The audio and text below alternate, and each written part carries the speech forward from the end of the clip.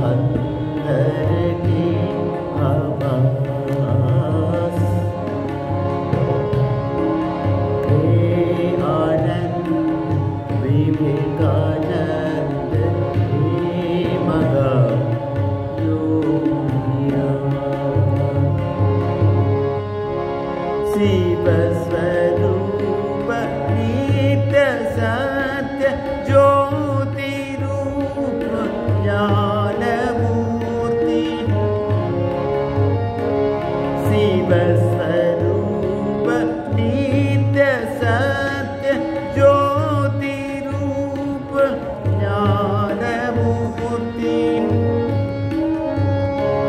विवेकान